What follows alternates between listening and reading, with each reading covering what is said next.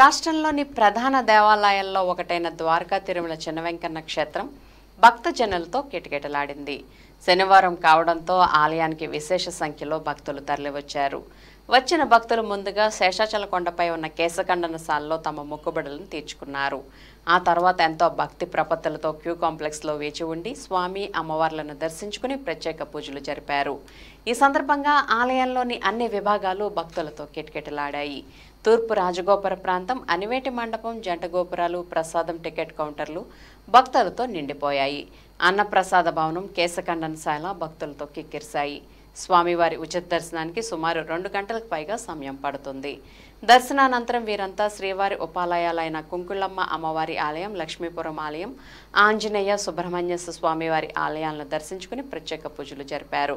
అనంతరం శేషాచల కొండపై ఉన్న ఒకళమాత అన్నప్రసాద భవనాల్లో శ్రీవారి అన్నప్రసాదాన్ని స్వీకరించారు.